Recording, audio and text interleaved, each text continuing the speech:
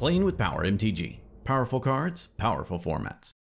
Before we get into tonight's game, I wanted to ask a question. Do you have extra cards lying around that you don't use? Want to buy or trade for some extra cards but don't know how to maximize the value? Then you should try out today's sponsor, Card Conduit. Card Conduit is the best service when it comes to selling your extra cards.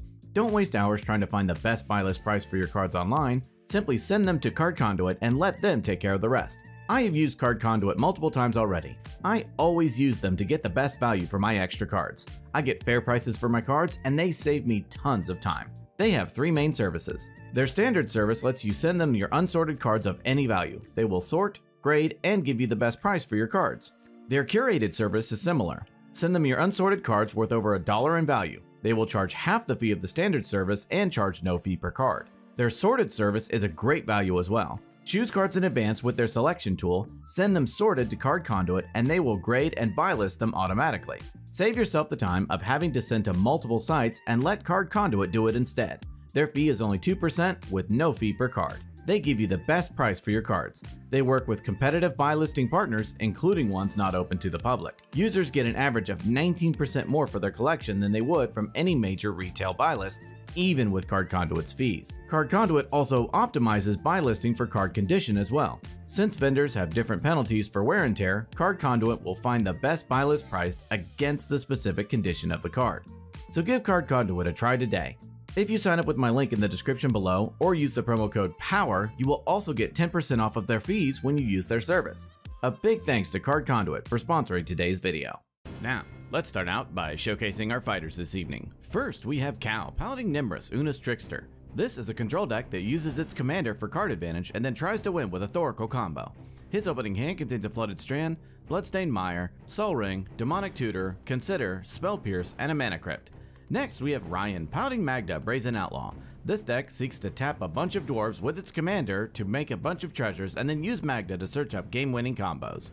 His opening hand contains a Soul Guide Lantern, Dwarven Blast Miner, Dwarven Trader, Winter Orb, Mountain, Red Elemental Blast, and a Gemstone Caverns. Next, we have our Mox Pearl patron Brandon, piloting Marwyn the Nurturer. This is a storm deck that tries to use untap and pump effects to make Marwyn huge and create infinite mana to win the game. His opening hand contains an Aim High, Burst of Strength, Chrome Mox, Utopia Sprawl, Coveted Jewel, Forest, and a Recycle. Finally, we have our Mox Pearl patron Sean, piloting Borborygmos and Fblthp. This deck tries to assemble infinite mana and bounce its commander to draw its deck and kill its opponents. His opening hand contains a Fyndhorn Elves, Forbidden Orchard, Lightning Bolt, Jeweled Lotus, Talisman of Curiosity, Talisman of Impulse, and a Phyrexian Metamorph. Without further ado, let's kick off this silly salty slinging slog. Brandon completed the Tears of the Kingdom speedrun and gets to start us off. But Ryan has a pregame action, creating two cat tokens to distract his opponents with their cuteness. He also puts Gemstone Caverns onto the battlefield, exiling Soul Guide Lantern. Brandon draws a card for turn and plays a forest. He casts a Chrome Mox, imprinting Utopia Sprawl. He casts Wild Growth. He passes the turn. Sean draws and plays a Forbidden Orchard. He taps it, giving Ryan a spirit to cast Fyndhorn Elves. Sean casts a Jeweled Lotus. He ends his turn. Cal draws and plays a Mana Confluence. He casts a Mana Crypt. He casts a Sol Ring. He taps Mana Confluence to help cast a Demonic Tutor. He fetches up a card into his hand and then ships the turn to Ryan. Ryan draws and plays a Mountain. He casts his commander, Magda, Brazen Outlaw. He passes the turn. Brandon draws and casts his commander, Marwyn the Nurturer. He ends the turn. Sean draws and taps Forbidden Orchard, giving Ryan a spirit to help cast his commander, Borborygmos and Fblthp. Borborygmos and Fblthp enter, Sean draws a card and declines to discard. He plays an Otawara, Soaring City as his land for turn. He passes. During his upkeep, Cal loses his mana crypt flip and takes 3 damage. He draws and plays a Bloodstained Mire. He cracks it, pays a life, and fetches up an Underground Sea onto the battlefield. He casts a Rhystic Study. He ships the turn.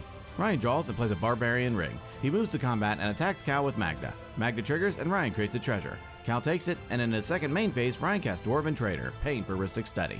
He ends the turn. Brandon draws and casts Aim High, targeting Marwyn, paying for Rhystic. He untaps Marwyn, and she gets plus 2 plus 2 and gains reach until the end of turn. He casts a Burst of Strength, targeting Marwyn, paying for Rhystic. He puts a 1 1 counter on Marwyn and untaps her. He casts Stony Strength, targeting Marwyn, paying for Rhystic. He puts another counter on Marwyn and untaps her. He casts Coveted Jewel and decides to stop paying his taxes. Cal draws through Rhystic, then Coveted Jewel enters and Brandon draws three cards. He casts Rishkar's Expertise and Cal draws through Rhystic. In response, Cal taps his Mana Confluence to cast Spell Pierce, targeting Rishkar's Expertise. Expertise is countered and Brandon passes the turn. Sean draws and taps Forbidden Orchard, giving Ryan another spirit to help cast Jeska's Will, choosing both modes, and Cal draws through Rhystic.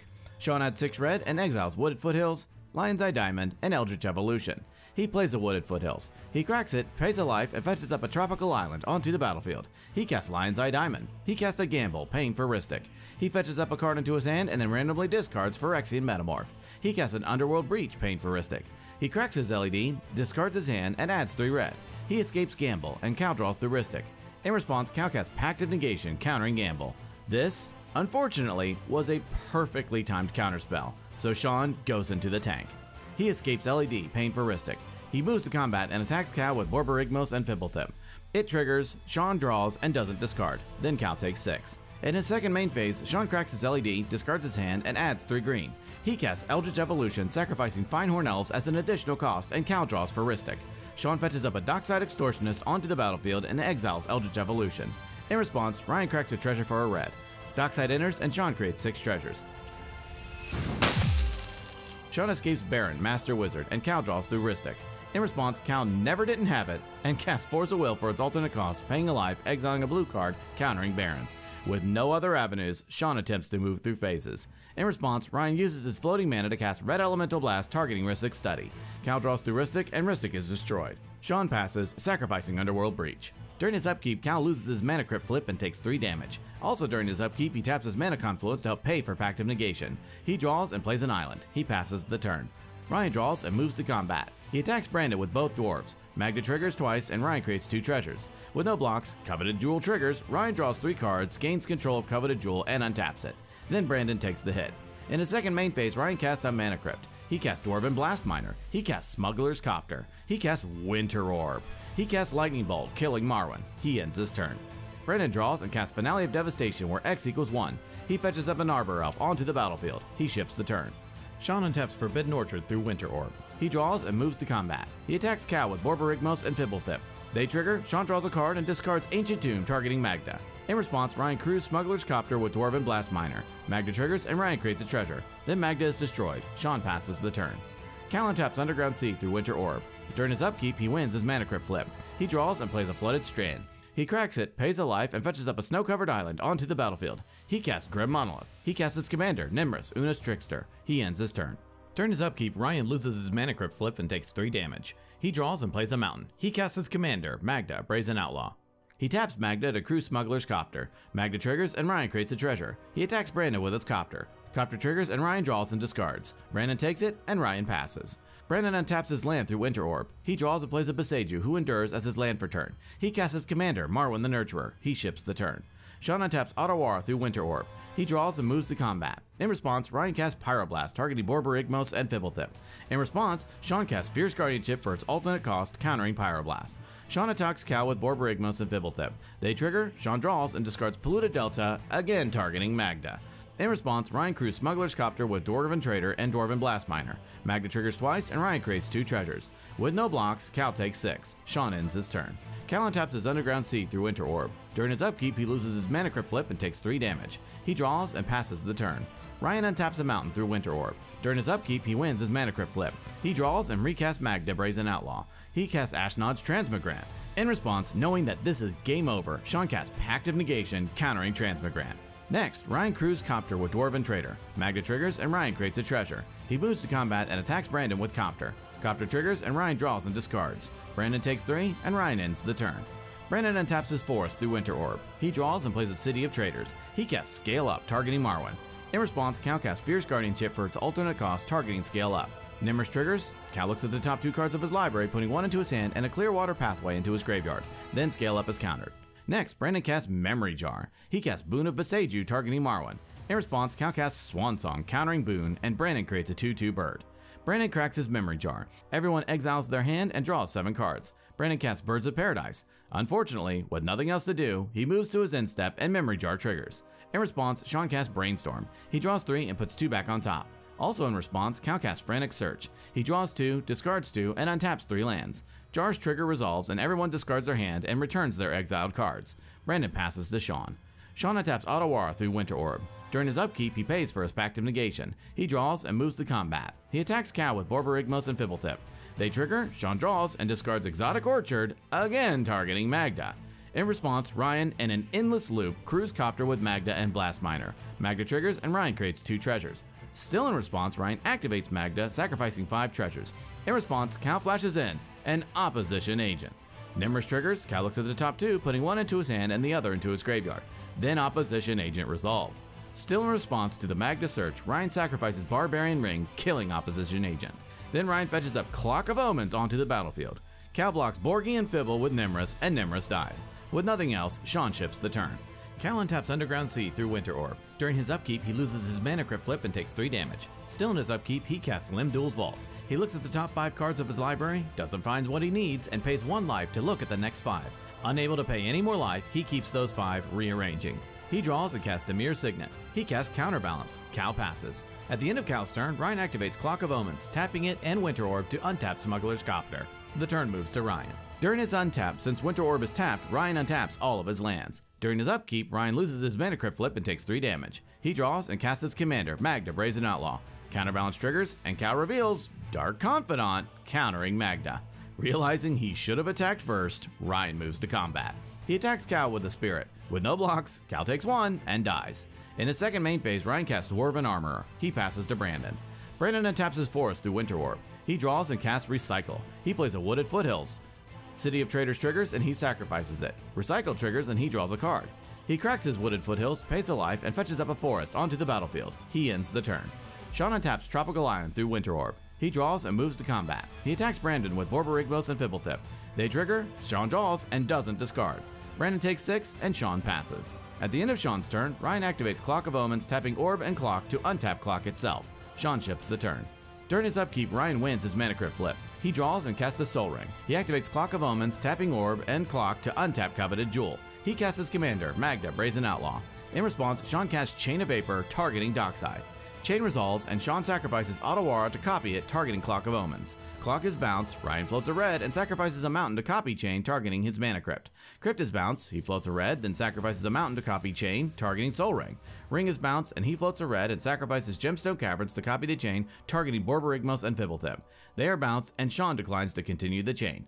Ryan recasts Mana Crypt. He recasts Sol Ring. He casts Clock of Omens. In response, Sean casts Mindbreak Trap for its alternate cost, targeting Clock of Omens. Trap resolves and Clock is exiled. Stopped six ways to Sunday, Ryan ends his turn. Brandon skips his draw step due to recycle. He plays a Verdant Catacombs, drawing through recycle. He cracks his catacombs, pays a life, and fetches up a forest onto the battlefield. He casts Force of Vigor, targeting Coveted Jewel and Smuggler's Copter. Recycle triggers, and he draws. In response, Ryan crews Copter with four creatures. Magda triggers, and Ryan creates four treasures. Then Jewel and Copter are destroyed. Next, Brandon casts Natural Order, sacrificing Birds of Paradise as an additional cost, drawing through Recycle. He fetches up a Regal Force onto the battlefield. Regal Force triggers, and he draws three cards. He casts Jeweled Lotus and draws through Recycle. He casts Mox Diamond and draws through Recycle again. Diamond resolves, and he doesn't discard a land, and Diamond goes to the graveyard. He casts Llanowar Elves and draws through Recycle. Marwyn triggers and gets a 1-1 counter. He casts Elvish Mystic and draws through Recycle again. Marwyn triggers and gets another counter. He casts a Sol Ring and draws through Recycle. Unable to continue, he passes, discarding to hand size. Sean draws and casts Dockside Extortionist. In response, Brandon cracks Jeweled Lotus for 3 green. Dockside enters, and Sean creates 11 treasures. He casts his commander, Borborygmos and Fblthp. They trigger, Sean draws, and declines to discard. He casts Mana Vault. He exiles Elvish Spirit Guide from his hand, adding a green. He casts Rhystic Study. He ships the turn. During his upkeep, Ryan loses his Mana Crypt flip and takes 3 damage. He draws and casts Dockside Extortionist, paying for Rhystic. Dockside enters and Ryan creates 9 treasures. He casts Maskwood Nexus and Sean draws through Rhystic. He activates Magda, sacrificing 5 treasures to fetch up an Utvara Hellkite onto the battlefield. He activates Magda again, sacrificing 5 treasures to fetch up a Skargan Hellkite. Hellkite's Riot triggers and Ryan gives it haste. He moves to combat and attacks Brandon with Skargan Hellkite, Dwarven Trader, Dwarven Blast Miner, Dwarven Armor, and attacks Sean with 4 spirits. Since they are all dwarves and dragons through Maskwood, Magda and Utvara each trigger 8 times. Ryan creates 866 flying dragons and then creates 8 treasures.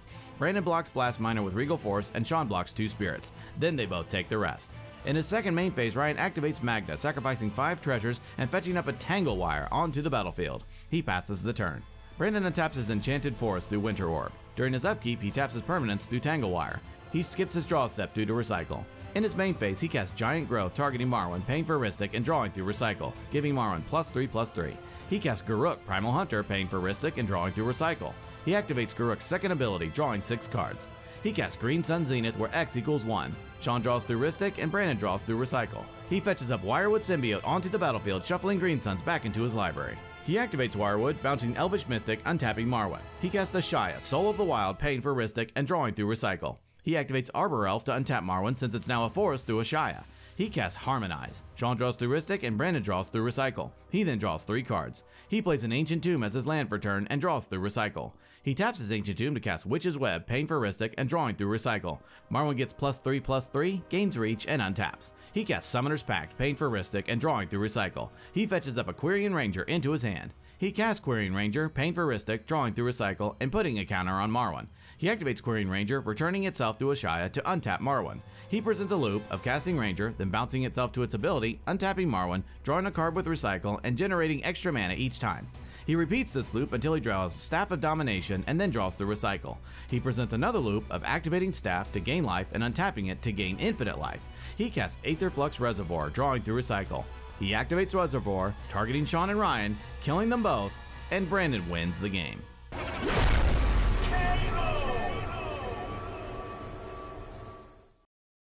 Wow, what an incredible game. Congrats to Brandon on his win. Players jockeyed back and forth for position and used resources to prevent each other from comboing off. Finally, Brandon was able to draw enough cards to make enough mana to get his combo and win the game. The most valuable card in tonight's game, sponsored by Luxury Playstyle, goes to Borborygmos and Fblthp. Repeatable removal is super powerful, and Sean showed that off tonight. Over and over, Ryan threatened to win, but Sean stopped him at every turn. This commander was overlooked, but is starting to show just what a powerhouse it can be at the CEDH table. Well, that about wraps it up for this episode. Tune in next time when we duke it out to see who will be king of the competitive EDH table. Thank you so much for watching, and we will see you next time.